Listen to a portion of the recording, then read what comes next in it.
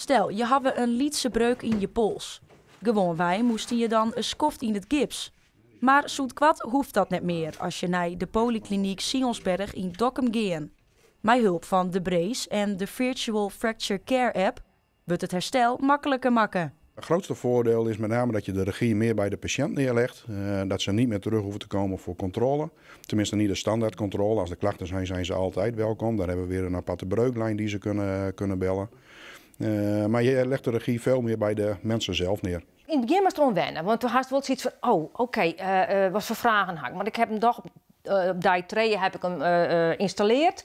En toen dacht ik, oh, wacht even, mijn vragen worden hier voor een grote deel, worden die wel beantwoorden. Dus dan is het sowieso een toegevoegde waarde. Op de app vind je persoonlijke informatie over die herstel en bij passende oefeningen hiervoor.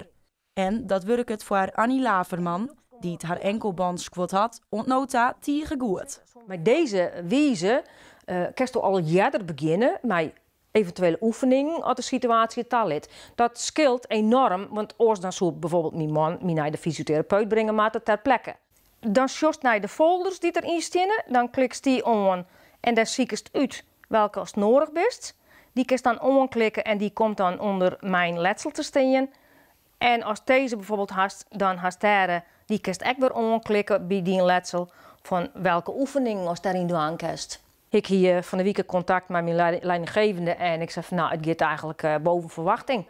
Dus de meerwaarde is ik dat al uh, sowieso met dit hele systeem jeder herstelt. Herstellen kerst. Laat ik het zo stellen. Maar net alleen nog voor patiënten is het een vooruitgang. De polykliniek in Dokkum verneemt zelfs ek dat het handig werkt. Het grootste voordeel van het ziekenhuis zelf is dat je meer ruimte hebt op je spreekuren. Doordat mensen niet meer terugkomen, kan je andere mensen weer gaan inplannen. Dat denk ik ook niet, nee. Spreekuren, met name van de gipspolie, waar mensen voor, voor controle terugkomen, die, die zijn vaak druk. En we hebben hier twee, twee dagdelen dat wij uh, die mensen terugzien. Uh, van alles wat je door de hele week ziet. Dus ja, dat zijn vaak drukke, drukke diensten. Maar die drukke diensten worden nou minder. Maar dank aan de app.